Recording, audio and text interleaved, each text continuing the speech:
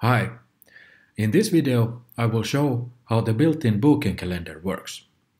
So every coach has their own booking calendar available if they want to use it. And in this, in this video, I will show all the features and functionalities that, is all, that it offers.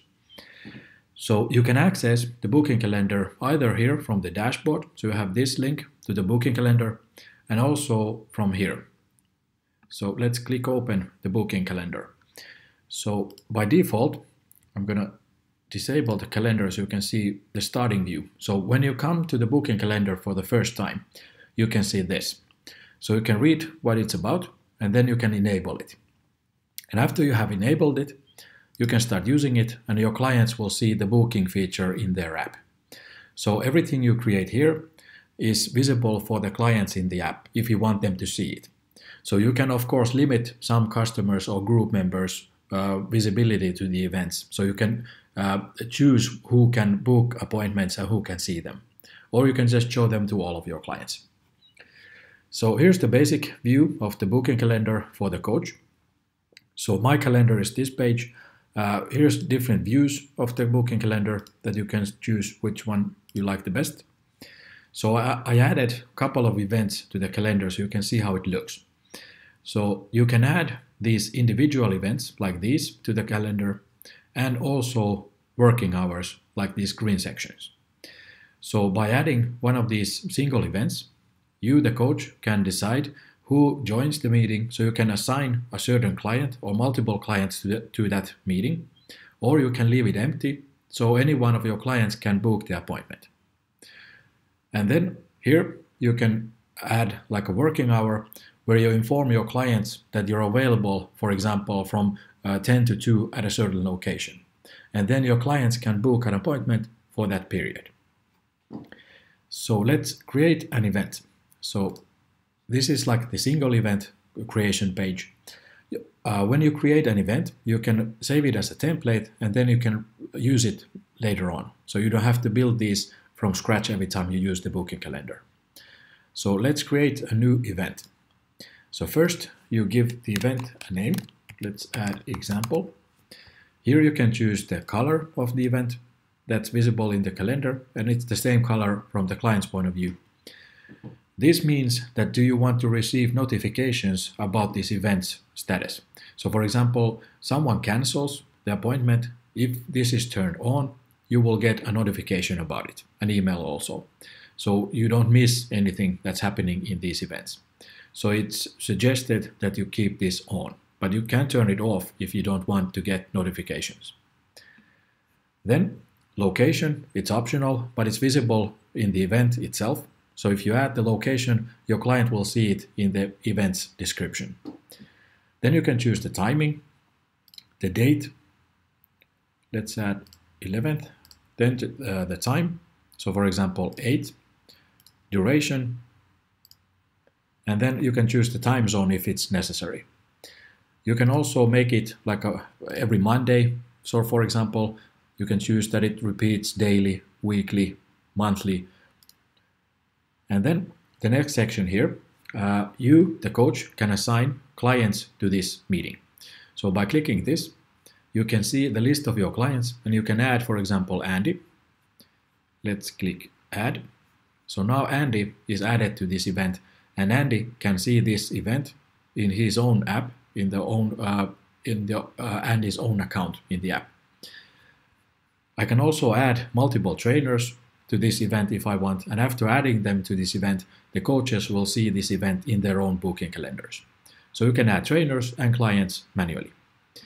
But then you also have the option of leaving this so-called empty. So you don't add clients to this, you just click this and now you allow your customers to book the appointments. So if I click this, now it's visible for the clients and now the client can book the appointment by themselves. Then you can also add maximum number of clients, for example, five. So it's like a small group workout. And then you can allow queuing if you want. So in this example, uh, the first five of your customers can book the appointment and then the uh, appointment is full. And when the sixth client tries to book the appointment, a pop-up window opens in the app that says that, hey, this is full, but you're in queue position number one. And then if someone from the original five cancels, this uh, person in the queue position number one gets a push notification and an email that, hey, good news, you have a spot in the event. And they will, uh, they, and after that, they will see the event in the booking calendar in the client app. So you can add clients or you can leave it empty and allow your clients to book the appointment by themselves. Then you can write a description for that event. You can also add, for example, a Zoom link. If it's like a remote meeting with the client, you can add a Zoom link here so they can uh, enter, enter the meeting. And then you can save it as service. So after that, you have this as a template. So you don't have to uh, specify all of this every time you create an event. So after saving, you can see the event and its details here. It's an example this. So after you have created it, you can see if someone already booked the appointment, you can see who it is. You will of course get a notification that client A just booked the appointment. Then you can edit, mark it as completed, show clients and edit the event after you have created it. Then the next section, you can create these working hours. So let's scroll down, add new. So you can choose when you're available, how long is the booking intervals. So for example, you, you want your clients to book one hour sessions with you. So then this would be 60 minutes. But if you uh, if you use like 30 minute sessions, then you can uh, describe this as 30 minutes. So every 30 minutes, a client can book a new appointment for, with you. Then the date when the working hours is valid, repeat if you want to repeat it, and then you can choose the service.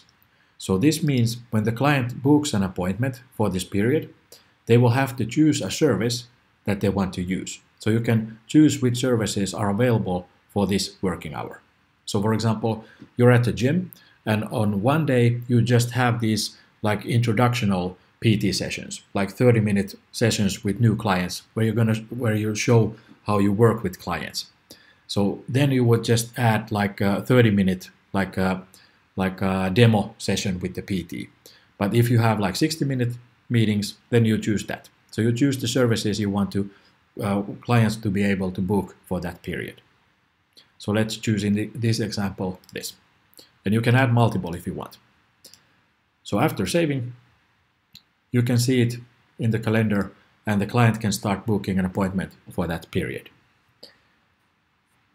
Then, when you have created your own calendar, you can view it and edit all the events. You can cancel them, for example, and your clients will receive a notification that it's canceled. So you don't have to send them a separate chat message or an email that, hey, sorry, I had to cancel. So you just you can you can just cancel it, and your client will get informed. Then the second page here is other services. So this allows you to uh, create these uh, booking calendars for different events or venues. So in this example, there's a meeting room venue, which is visible for all the uh, like coaches in your company. So all of your colleagues will see this in their own booking calendar, other services page. So you could use this as a group, as a team, so you can see if the room is available or not. So I could, for example, book this meeting room for my clients today from like 5 to 6 in the evening. So other colleagues in the company see that, okay, there's already one trainer in the meeting room, so I cannot book it. So you can use this as a team and see uh, different venues and booking calendars avail availability. So if it's already booked or not. So you can click this. So you can create a new calendar. So let's add like spinning as an example. So spinning booking calendar. Uh, status is it's a draft or published, and then the calendar's uh, duration. So after you have created it, you can click it and edit if needed, and then you can see it here on the list. And your colleagues can see the same calendar, and you can start adding appointments to this section. Then you have statistics. So this allows you to see how many appointments you have had. So this is a, this is a list of all the appointments in the calendar for this month. You can search them by name. You can see a summary here, how many appointments you have had, how many have been have been cancelled, And you can search by trainer, by year, and by May, these reports. Then the last page, you have settings. So here you have my services, meaning those templates you have created for the events. You can create new ones from here. Then calendar settings. So you can choose these as you want to use them. On calendar range. This means when we go back to the booking calendar, so uh, when it starts and when it's finished. So if I choose like a weekly view, I can see. So it starts from 7 a.m. and ends at 8, 8 p.m. So this duration is chosen from here. Then you can choose whether you want to receive a daily summary of the events via email. So you can see the same summary here by yourself, like manually. But if you choose, you can activate this and our system sends the report automatically to your email every day. Then you can choose this, who, uh, which coaches are visible in the client app, like Booking Calendar. So you can choose, uh, choose just yourself, so only you are visible to your clients. Or if it's like a big gym and uh, you coach, uh, the coaches coach some of the same clients. So then you can enable your colleagues also, so they can see their appointment calendar, booking calendar also. Then you can choose who of your clients can see the calendar. So by default, it's visible to all of your clients. So all your clients will see the booking feature in the app. But if you want to limit, so it only uh, it's only visible for those clients and group members you want, then click this. And after that, you go to the uh, clients and groups you want to want to enable the feature. So visibility only to select it. So now click open, for example, Amanda Hawking. Then click this, settings, and then show booking calendar. So now it's visible for Amanda Hawking and no one else. And the same logic goes with groups. So you can go to a group and then choose settings and show booking calendar. So now all, all group members, all of these will see the booking calendar.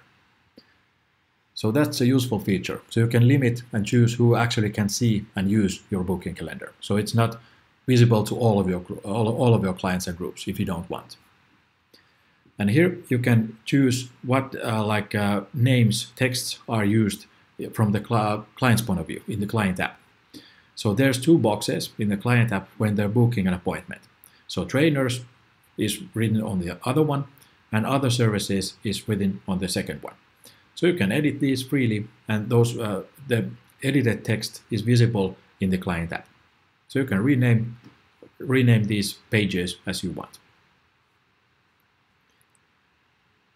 So that's about it. So you have your own booking calendar that you can use, and then you have other services that allows you to work as a team with your colleagues. So you can see different venues booking status.